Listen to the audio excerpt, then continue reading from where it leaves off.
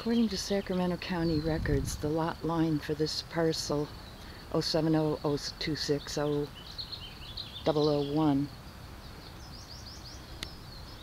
the extent of this parcel is approximately 18 to 19 feet from the indicated structure which would be this tin shed with the fancy aluminum siding where a 2200 degree crematorium would go. This is the pad for a new building. The city of Folsom has no permits. This would be grading where you can see the tracks of the heavy equipment. They've removed all the rocks that were piled here. You can see the, the ruts and this would be on the opposite side of the lot line, so this would be on public land.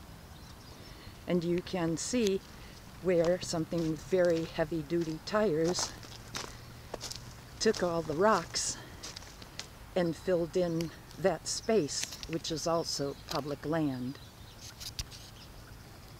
Nearly everything abutting and surrounding this uh, Miller Lakeside cemetery operation is bordered by public land.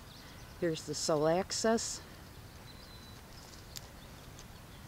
Here's the crematoria sites abutting people's burials all around. And here's hard evidence of this open area being created after the removal of the fence, which is in earlier records. And you can see where the public land got all the dumping to create this extra space. The sole access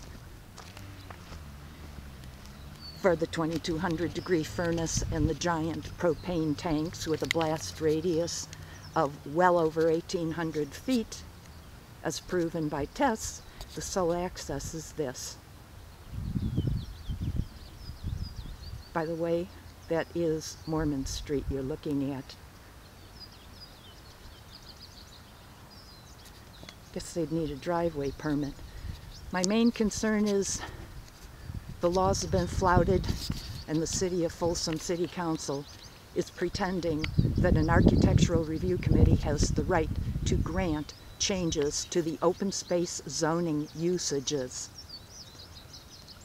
Only the city council can make take an action like that under California law. It's time to let the public landowners, most of them the federal government, know about all of this.